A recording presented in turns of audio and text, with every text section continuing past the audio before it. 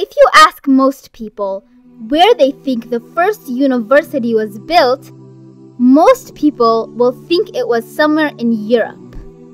If you ask them if a boy or a girl came up with the idea of a university, most will say it was a boy. But did you know the first university was actually founded by a young Muslim woman in Fes, Morocco? Her name was Fatima al Fihri. Fatima al Fihri was born in 880 in Qayrawan, Tunisia. Her father was a very rich businessman. When Fatima al Fihri was a little girl, her father wanted her, her sister, and her brother to be well educated. So, they decided to move to Fes, Morocco, since it was one of the most influential Muslim cities at that time and had a great education. Fatima al Fihri grew up with a good education and got married to a rich man. Everything in her life was perfect until one year her father, brother, and husband all died one by one. The three men left Fatima al Fihri and her sister with a lot of money. So, instead of wasting their time crying, Fatima al Fihri and her sister decided to make their community better with their money and make Allah subhanahu wa ta'ala happy. In their town, Muslims were growing day by day, so Fatima al Fihri's sister built the Al Andalus Mosque, while Fatima al Fihri had something else in mind. She wanted to build a mosque, but she also wanted to build a center that would give higher education. This is how Fatima al Fihri came up with the idea of the first university. She decided that she would have a mosque and a university combined. And she decided to name it after her hometown and called it the Qarawiyyin Mosque and University.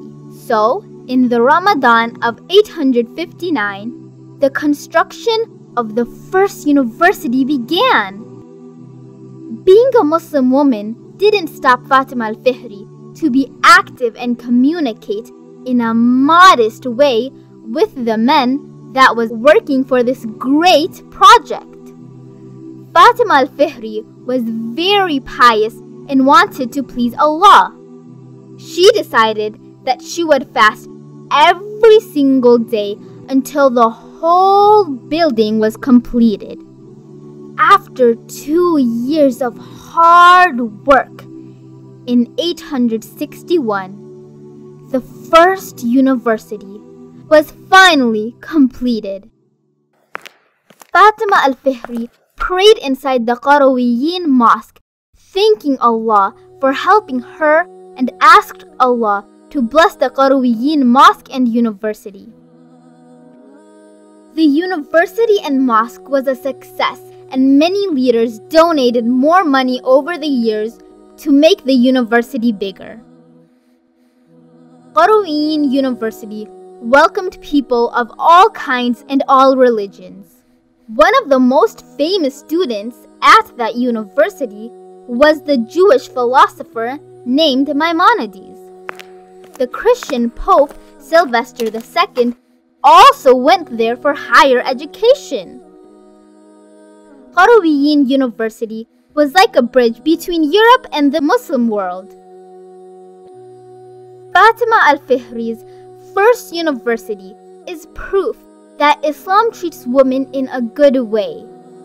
The true Islam teaches us that boys and girls are all equal and they should be treated that way as well.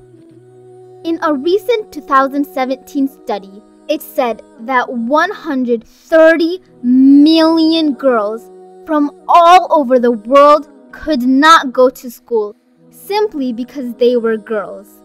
Fatima al Fihri showed us that even a religious woman can go to school and make a difference while still covering up and being modest.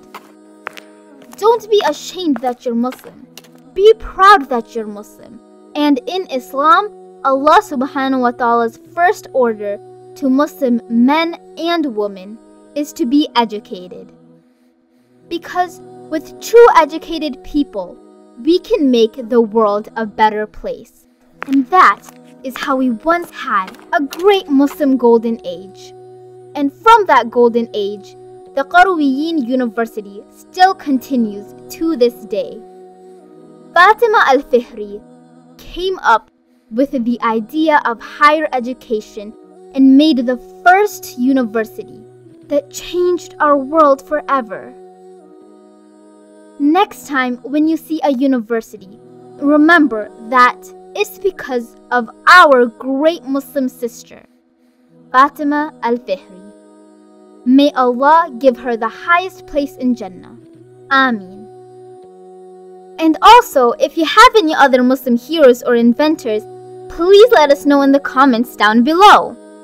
Don't forget to give this video a like, subscribe to our channel, and share this video with all of your friends and family. And until next time, Assalamu alaikum.